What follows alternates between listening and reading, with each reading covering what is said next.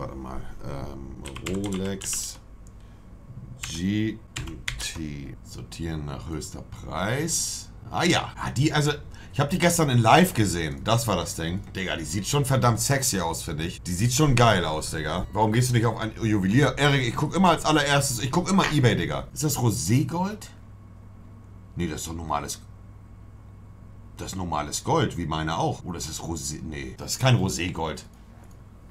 Nein, das ist normales, oder? Ja, es kann. Nee, für mich sieht das nach normalem Gold aus. Äh, Gelbgold. Nein, das ist kein Roségold. So sieht Roségold aus. Das ist Roségold. Was ist los mit euch? Das ist Gelbgold, Digga. Was verunsichert ihr mich?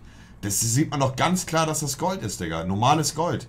Roségold sieht so aus. Also, weiß nicht. Für mich sieht das nicht nach Roségold aus. Das sieht so aus wie normal Vollgold. Aber gut, hier, ah, okay, ich muss euch, hier sieht so ein bisschen Rosé-mäßig aus, ne? Ja, ja, weiß nicht. Nee, ist aber Gelbgold. Steht doch, muss doch hier irgendwo stehen bestimmt. Gold, bla bla. Gelbgold, hier, steht doch sogar. Ist Gelbgold. So, und nur mal als Beispiel jetzt, Erik, nur damit du nochmal Bescheid weißt. Diese Uhr äh, gucke ich jetzt bei Ebay, aber ich sehe jetzt gerade zum Beispiel, der Händler ist in Hamburg. Das heißt, ich könnte den theoretisch gesehen morgen anrufen und sie mir dann da rausholen. Weißt du, wie ich meine? Also Glück jetzt natürlich, dass es Hamburg ist, ne? Die werden mir mal abspeichern. Ich weiß nicht, irgendwie finde ich die Uhr geil, Digga. Irgendwie finde ich die Uhr mega geil. Aber ich, muss dann auch nochmal gucken. Ich, äh, Digga, das ist auf jeden Fall nicht der finale Preis. Hässlich as fuck. Du, Geschmäcker sind verschieden, Digga. Weißt du, wie ich meine? Geschmäcker sind verschieden. Der eine fühlt die, der andere fühlt die nicht. Das ist diese Pepsi-Edition hier, oder was? Das ist Roségold, Leute, aber es sah ein bisschen aus wie die Pepsi-Edition. Ihr wollt wahrscheinlich, dass ich mir sowas hier hole, ne?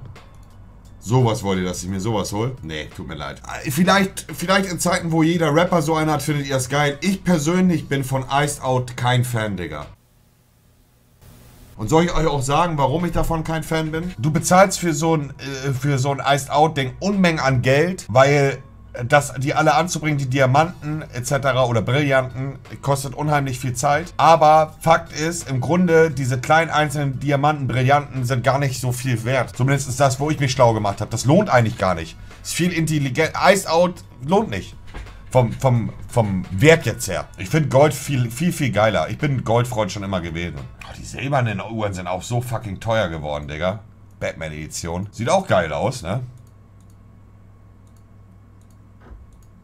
Sieht auch geil aus, finde ich. Was ist mit einer Submariner? Ich habe äh, Vollgold Submariner, habe ich. Gold ist das Beste, immer wertstabil. Da muss ich dir widersprechen, Honey. Also klar, Gold ist immer wertstabil, aber ähm, die silbernen sind mit die, die sich am meisten lohnen. GMT Master, ja, die ist auch schick, Digga. Die ist auch schick, Erik, auf jeden Fall. Aber ihr müsst euch so vorstellen, kaufe ich mir so eine, muss ich mir auch eine fette äh, Silberkette bzw. eine Platin-Kette dann anfertigen lassen, damit das dann optisch wieder an, äh, zusammenpasst, ne? Dann wäre das doppelt teuer. Weißgoldkette, ja, nee, bin ich kein Freund von, Digga. Geschmäcker sind verschieden, das ist ganz klar, Digga. Der eine mag die Uhr, der andere mag die Uhr.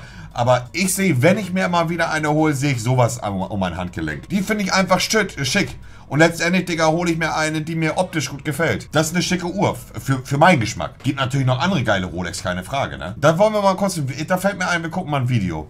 Warte mal. Ich muss mal kurz gucken, ob ich das Video finde. Hier. Das ist einer der schönsten Videos, die ich jemals gesehen habe. Und, und hört, jetzt, hört jetzt wieder auf, rumzutrollen. Mit Englisch, okay? Ich mach direkt Emote Only rein. Einer der schönsten Videos, die ich jemals gesehen habe. My uh, Rolex GMT Master that I bought 55 years ago.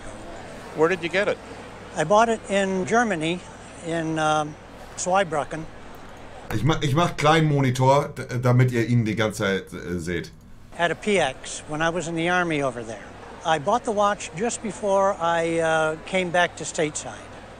My sergeant recommended that before I came back to the States, buy a Rolex watch. Why did he do that? Do you know? Well, he Also, das ist im Grunde so wie, ähm, wie heißt denn die Sendung nochmal? Auf dem ersten oder ZDF, wo lief denn das nochmal? Ah, wie hieß denn die Serie nochmal, wo die Leute auch Sachen hinbringen können? Mods, help, help, help. Bares für Rares, genau. Im Grunde ist das auch sowas. Und der Opi verkauft jetzt halt seine Rolex, die er gefühlt vor 10 Millionen Jahren gekauft hat. Und er hat sie in Deutschland gekauft. he thought that was the best watch ever made. And he said, make sure you get one before you go home, and this is the one I liked. And had you had heard of Rolex before that? Not before that, no. I've never heard or seen one before. I just took his word that it was a great watch, and it is. And do you still wear it? Uh, I don't wear it very often now. It's kind of a keepsake now. I wear my uh, my cheap watch now, and this is my dress watch. Well, I was uh, very excited when you brought this up to the table. As you know, it's a Rolex. It's a Das G. ist so, es ist so ein schönes Video. Ein alter Opa, der damals eine Rolex gekauft hat, was dam er wird glaube ich gleich noch sagen, er hat damals so viel Geld dafür bezahlt, damals war ja das Verhältnis zum Geld nochmal ganz anders und er trägt sie gar nicht mehr, er trägt seine Billiguhr und hat die immer rumliegen lassen. GMT Master model, but it's got some very special things about it. It is the first model GMT Master that was ever Rolex ever made. Heftig. I didn't know that. It's a model 6542, which we have on the uh, reference number on the paper here. Er hat alle, er hat alle Papiere, er hat alles noch zu, zu der Uhr. On the box itself, on the on the edge of the box right here, we have the reference number of the watch. It's incredible that you've saved everything. Is there a reason why you saved all this paperwork? We usually don't see this. I don't know. uh, it just, I'm just lucky, I guess. Well, this watch is totally complete. You have the watch. I know you've replaced the original bracelet at some point. This is a replacement bracelet, but we do have the original bracelet Heftig. here in the box.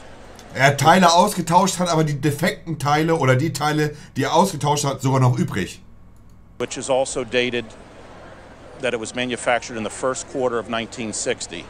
And according to the papers of the watch, you purchased it in uh, April of uh, 1960. Correct. Heftig. You have the original sales receipt right here. I noticed you bought two watches. Yes. Ein für We seinen saw the other one. The other one uh, we wasn't as special as this one. What did you pay for this watch? This watch, I paid the uh, $120. 120 Dollar für die Uhr, 1960. 1960 waren 120 äh, Dollar, sagt er auch gleich, Digga, Unmengen an Geld. The other watch, which um, had a, some gold to the bracelet, I bought from my dad. Oder für paid deinen Bruder. $104 for that. Was that a lot of money back in It 1960? was a lot of money. Yeah. my salary in the Army was uh, just under $100 a month. Das muss man sich mal vorstellen. Er hat damals für diese Uhr 120 Dollar bezahlt, hat aber monatlich nur bei der Army 100 Dollar äh, ähm, äh, verdient. Das muss man sich mal vorstellen, ne? Das heißt, jetzt im Verhältnis, ja gut, sagen, im Verhältnis, du verdienst, die hätte jetzt zur heutigen Zeit, ja gut, kann, kannst du mit heute nicht rechnen. Kannst dich mit heute nicht rechnen, aber, ja. Okay, so that was over a month's salary. Yes. Do you know what this paper is right over here? No. Rolexes were sent to the observatory in Geneva to be certified as chronometers.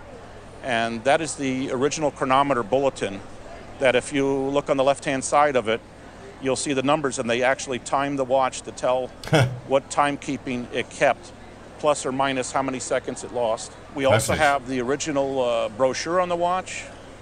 Everything's complete. You have the original hang tags. I'm very pleased to tell you that this watch today at auction is a very, very collectible watch.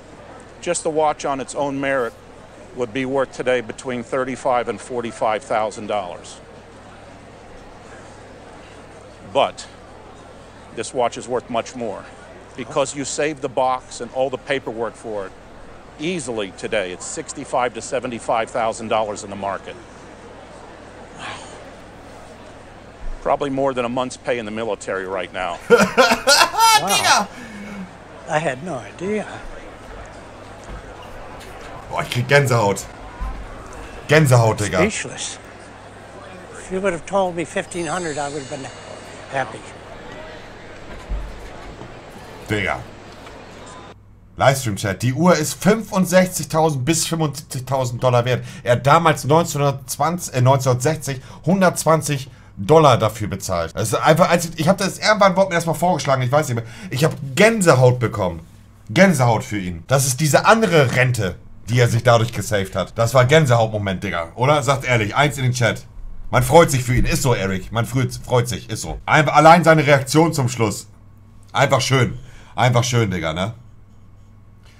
Er wusste das halt nicht mal. Das ist krank. Die hat irgendwie auch einen, einen freshen Look, Digga, finde ich. Fühle ich mehr als die goldene. Ja, aber ich Gold, Gold, ich weiß nicht, ich fühle Gold einfach mehr, Digga. Ich fühle Gold einfach irgendwie am meisten. Ich weiß nicht, ich bin halt einfach der Goldtyp, Digga. Ihr könnt mir sagen, Digga, diese, also ist natürlich Geschmackssache, auch die Submariner in schwarz, Digga, sieht einfach schick aus. Wie findet ihr die hier? Oh, die ist aber schon ein bisschen älter, ne? Gebraucht. Von 75, Digga. Holy shit. Oh, ich finde die schick. Würde ich mir jetzt wahrscheinlich kaufen. Vor allen Dingen, weil es halt eine von 75 ist, Digga. Uh. Auch schick. Warum ist die so billig, Digga? Ah, weil sie von 88 ist und gebraucht. Und die kommt aus Los Angeles, Digga. Also insofern sowieso. Kaufen wir bestimmt nicht aus Los Angeles, Digga. Macht Zollauge. Ist auch gebraucht, ne? Gebraucht. Was ist das für eine, Digga? 1989. Kauft die Ice Out. Leon, sei mir nicht sauer, aber Digga, wenn du Iced Out geil findest, dann guckst du halt einfach zu viel Rapper-Videos. Iced Out, pisst euch mit Iced Out, Alter. Ich finde, Iced Out kann genau nur eine äh, oder äh, ein Typ Mensch tragen und das sind Schwarze. Gar nicht rassistisch gemeint, ihr wisst, ich bin das Gegenteil von Rassist, aber Schwarze, an Schwarzen sehen Diamanten hammermäßig aus.